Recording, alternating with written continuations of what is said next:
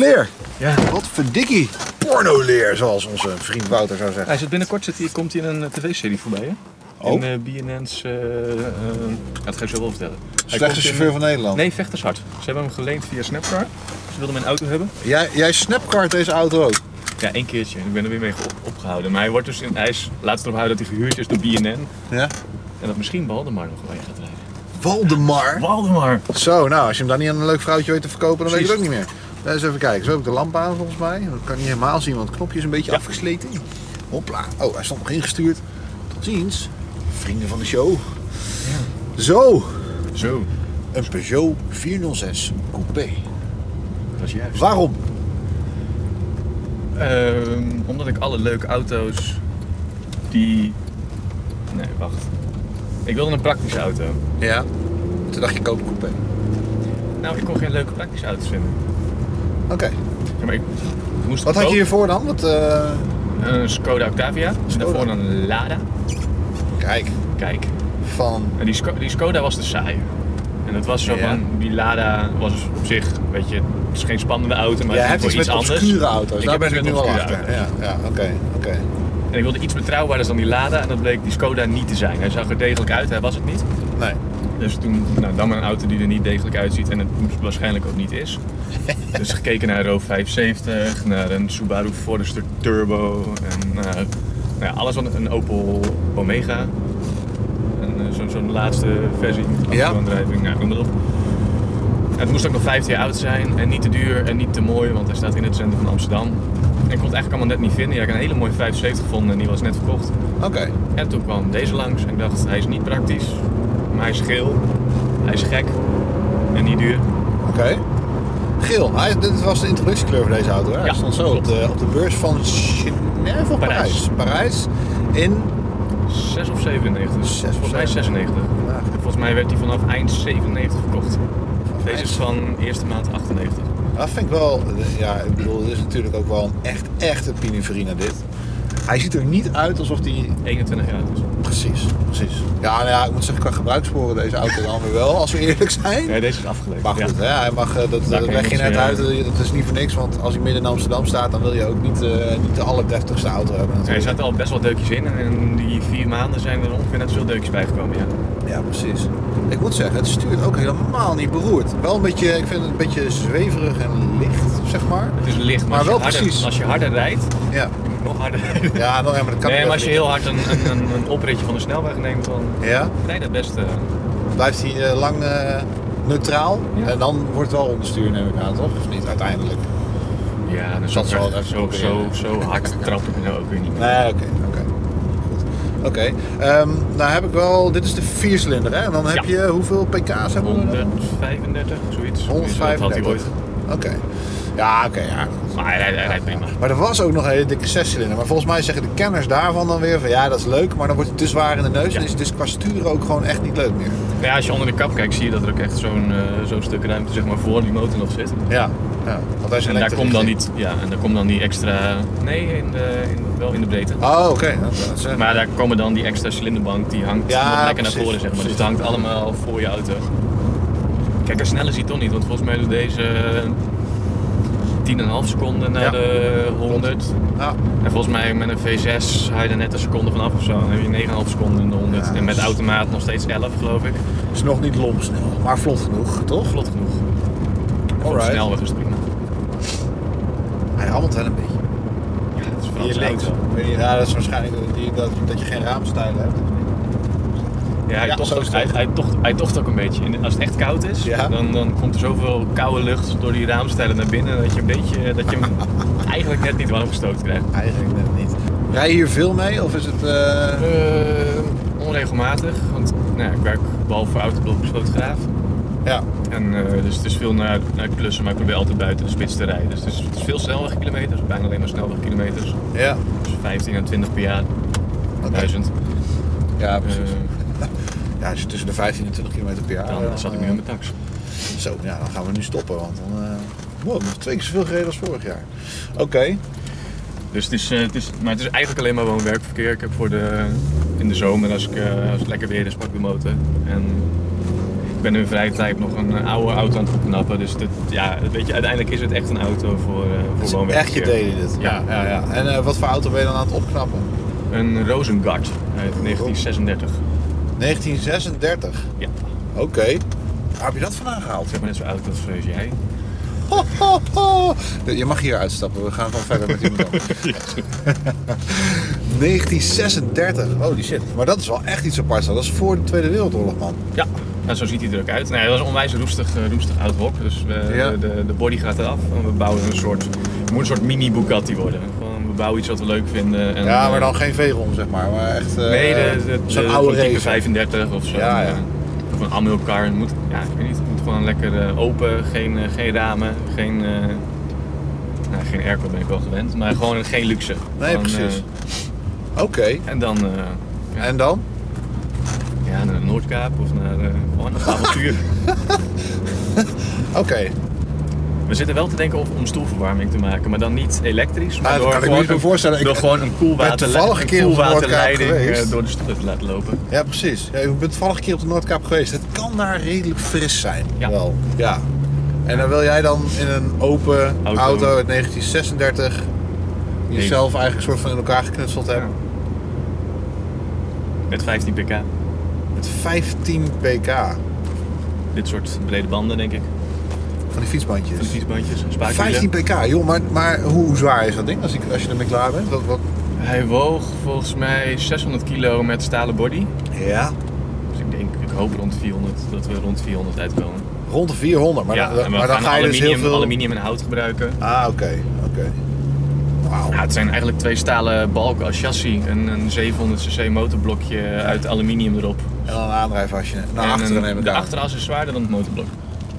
Met diff. Want dat is gewoon gietijzer. Ja? Dus dat blok is van aluminium. En dan Oké. til je er echt in je eentje til je dat eruit. Ah joh, bizar. Verder twee stoelen en eh, een klein beetje platenwerk en that's it. Dat is wel even wat anders dan een eh, Peugeot 406. Met Ja. leren stoelen. Maar dan ga je, dan ga je zelfs deze auto waarderen. Ga je zelfs tegen. Nou, ik, moet- ik moet zeggen, ik heb helemaal niks tegen de Peugeot 406. Ik vind het echt een, om te beginnen een hele fraaie auto om te zien. Dat vind ik echt. Echt een heel mooi getekende auto. Hij, eh, heel veel mensen noemen het ook wel de Poormans 456, toch? Van Ferrari. Ja, dat, dat eh, zie ik niet zo erg. Nee, ja, ik snap het een klein beetje qua lijnen. Maar het is, het is wel wat ver gezocht. Maar je hoort heel veel mensen dat zeggen. Ja, ik denk dat je gewoon zo'n mooie, mooie auto moet zien en niet, niet te veel moet gaan vergelijken met een Ferrari. Ja, Weet je, ja, dat doen mensen toch altijd. 456 is wat mij betreft echt, echt een van de mooiste auto's ooit gemaakt. Ja? En ik vind dat ik best een mooie auto heb, maar dat komt er niet in de buurt. Nee, oké, maar het is veel exclusiever. En, en, nou, Hij is wel in Italië gebouwd bij Pininfarina. Ja, Ja, ik in de weet niet- hoogtijdagen, want volgens mij hebben ze 300.000 gebouwd of zo. In Italië. Oké. Eh, dus je hebt een Franse auto die in Italië is gebouwd. En in Italië is getekend. Nee. Eigenlijk is dit gewoon voor minstens de helft een Ja, Italiaanse kijk, als auto. Ita- Italianen iets tekenen, daar heb ik nooit zo'n moeite mee. Want ik, ik kan heel erg genieten van Italiaans design. Maar of het nou lekker nieuws is dat je auto in Italië gebouwd is, door Fransen ontworpen, zeg maar techniek, hè? Ja. Wauw. Ja, ja, jij leeft graag op het randje. Precies. Gaaf. Hey, en eh, hoe lang wil je hier nog mee vooruit? Want je hebt, hoe lang heb je hem überhaupt? Ik heb hem sinds november. Ja? En ik wil ermee vooruit tot hij eh, stuk gaat, denk ik. Stuk. ik echt wat leukers vind. Maar ja, weet je, het is geen... eh, ik ga hem niet opknappen. Daarvoor is die, je gaat ook niet even zelf in je werkplaatsje een nieuw motorblok erin hangen als die ploft. Nee, nou, ik probeer wel het onderhoud zoveel mogelijk zelf te doen. Ja, dat is natuurlijk wel lekker als Dus je... uitlaatje, dat soort dingen, eh, distributie misschien ook wel zelf. Ja. Dat vind ik wel leuk. En ik heb er de ruimte voor. Ja, ja, precies. Dat is nice. Dus ja, ik probeer hem gewoon eh, netjes te onderhouden. Maar Ja. weet je, de bumpers zijn gescheurd, prima. eh, zolang het er niet afvalt. En eh deukjes laat ik er lekker in zitten. Ja. Het is gewoon een auto mee te rijden en eh, ja, precies. dat doe ik dan ook. Daar is het voor bedoeld. En dit soort bochtjes kan hij nog best hebben. Ja. Ik ken de weg een beetje hier hoor. Dat je niet denkt van, oh, hoe gaat hij uit die bocht in? Ik weet wat ik doe. Wel eens. Ken jou ook een beetje, Casper. Ja, precies. Je zit al vaker naast me als ik hard rijd. Het scheelt. Precies. Dat scheelt. Ik vind echt wel dat hij zich heel netjes houdt. Ik vind, ja, wat ik al zei, hij is wel een beetje licht qua besturing. Ja, het is een Franse auto. Maar hij heeft niet veel rol in die body, die Skoda. Joh. Dat, dat, Nee, dat is het was vooral. een soort, was een als je hem ziet staan op die best wel, eh, hij heeft best wel eh, ballonbanden, zeg maar. Eh, dat zijn niet hele platte, je hebt geen enorme vel wat eronder zit of zo. Je er verwacht dat hij veel meer dan zo, standaard. zo zoeken en zweven, maar dat valt me heel erg mee. Grappig. het doet me een heel mensen klein beetje... Wel eens dat, want er wordt altijd geroepen dat Ford zo'n fantastische onderstellen bouwt. En Ja. Mensen vergeten wel eens dat Peugeot stiekem dat ook wel kan. Als je kijkt naar de generatie Ja, ik 306, niet, maar- 400 ja, ja. jij weet het. Maar zo'n je 205, maar bijvoorbeeld ook de 306, de 406. Ja, ik heb ook een de 206 gewone- gehad nog natuurlijk. Ook de gewone versies waren stiekem best wel liggende auto's. Ja, ja. Nee, maar echt, toen ik hem zag staan, dacht ik van, nou, dat zal wel redelijk soft en deinerig zijn. Het is wel comfortabel, maar het is zeker niet deinerig of zo. Dat, ik, nee, ik vind echt, eh, valt me niks tegen. Hey, en wat, eh, oké, we, we- we hadden het net over wat, wat- hoe lang nog tot die stuk gaat. Maar Ja, wat als die stuk eh, gaat, wat wordt het dan? Want eh, ja, eh, van Lada naar Skoda naar Ja. 406 Coupé, dat is al op zich een best een apart traject. Ik heb geen, eh, ik heb, ben niet merktrouw. Nee? Nou, we hebben laatst die, eh, die gele Cupra gereden, die, eh, die Seat eh, Leon, die eerste Ah, generatie. Ja, ja, ja, ja, ja, Die was ook geel en Ja. onwijs mooie auto. Ja, ook Italiaans design. hè. Ja. Dus dat lijkt me een goede opvolger. Ja. Maar aangezien ik veel op de snelweg rijd, vind ik een Jaguar XJ uit midden jaren 90 ook wel een. Dan moet je het nog wel even volhouden. ja, dan moet je nog even doorsparen, want dan zeg maar... Maar het onderhoud vooral. Nou ja, ik kan zeggen, qua aanschaf valt dat wel mee natuurlijk, maar qua onderhoud en qua brandstofkosten eh, word je daar Het liefst wel al vrij ongelukkig eh, van. Ja. Het liefst zo'n zeg maar, dat model, dat, de, de XJ300. Dus dan heb je wel zeg maar de, die iets mooiere koets uit de jaren Ja. 90, maar wel die ouderwetse 6 in lijn eh, motoren. ja, ja. Ja, dat lijkt me wel wat. Maar uiteindelijk eh, ja, vind ik alles echt wel leuk. Als het maar een beetje, als het maar net niet iets is wat je overal ziet rijden. Of, Nee, precies. moet iets hebben. Net even, net even iets gekker zijn, duidelijk. Ja. Ik vind nog steeds bijvoorbeeld zo'n Opel Ome- Omega van de, van de laatste generatie Station Wagon. Dikke motor erin. ja, ik, eh, Ja. ook daarin zie ik mezelf nog best rijden. Vind ik stiekem nog steeds best een mooie auto. Ken je een beetje, dat, ja, dat zou je ook gewoon passen inderdaad. Ja. Heel veel mensen zouden dan denken van, wat heb je jezelf aangedaan? Waarom heb je Maar dat denken ze altijd bij mij. Ja, nee, maar, ja, maar dat, dat is inderdaad wel, ja. Dan moet je gewoon schijten hebben. Ja, dan kom je wel in leuke auto's terecht. Ja. Ja, Ja, dat is wel een zo. gele auto met een rood interieur. Ja, een gele auto met een rood interieur. Ja. Het is niet origineel, want Nee? dat is ook weer zoiets. En deze auto is lekker geklust. Want er zitten eh, standaard had hij 15 inch wielen. Hij heeft nu 16 inch wielen van het facelift model. Ja. Eh, leer kon je krijgen, maar dan had je hier zou dan eh, de knopjes van je stoelverwarming moeten zitten. En nu heb je vooral er hier de draadjes van je stoelverwarming hangen. Mooi. Dus dat klopt niet. Nee, dat is niet helemaal hoe het hoort. Hij kan ook niet verder omhoog, jouw stoel. Dat is, dat is ook iets mee. Oké, nou ja, ik zit op zich al hoog genoeg. Ik vind bij Peugeot heb je nooit zozeer te klagen dat je te laag zit. Eh, dat vond ik zelfs in mijn 206 vond ik dat altijd nog.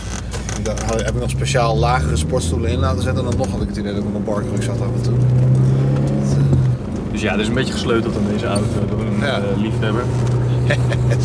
Goed dat je zelf die Maar ik denk wel bij dat het de enige gele Peugeot 406 Coupé in Nederland is met rood leer. Heb jij een Peugeot 406 Coupé met rood leer En heet je geen Jesse? en heet je geen Jesse? Laat het weten. Ik ben nu al benieuwd of we reacties krijgen. Ja. Ik denk echt dat het het niet is. Het zou heel goed kunnen, maar ja, ik weet het niet. Ik weet het niet. Lachen man. Ja, Ja, ik vind het echt. eh, ik ben positief verrast. Vooral door de wegligging. Want ik had verwacht dat hij een stuk, eh, nou, wat ik al zei, een stuk zoekeriger en zweveriger zou zijn. Dat, eh, ja, los van die lichte besturing, dat, dat, haalt een beetje het, eh, het echte rijdersautogevoel ervan af, vind ik. Maar het is wel een prima auto om eh, lange stukken mee af te leggen. En, je, je rijdt er voor mijn gevoel wel gewoon moeiteloos mee naar Zuid-Frankrijk. Los van of die heel blijft. Maar verder, dat zou mijn enige zorg zijn. Ja. ja. ja. Nice. Ja, kunnen we verder nog over vertellen? Nee, ja, we hoeven er verder denk ik niks meer over te vertellen. Als mensen nog vragen hebben, dan kunnen ze die gewoon onder de video stellen en dan kun je die vast wel beantwoorden. Absoluut. En ehm, ja, dan rest mij alleen nog jou, te roep, eh, of jou op te roepen als kijker. Heb jij een leuke auto waarmee jij wilt dat wij een stuk gaan rijden? Eh, met jou naast mij of naast Wouter, hangt er even vanaf, maar dat eh, gaan we zien. Ehm, meld je aan en wie weet nemen we dan contact met je op. We laten je sowieso weten of je mailtje is aangekomen, maar wie weet gaan we dan met jouw auto binnenkort rijden.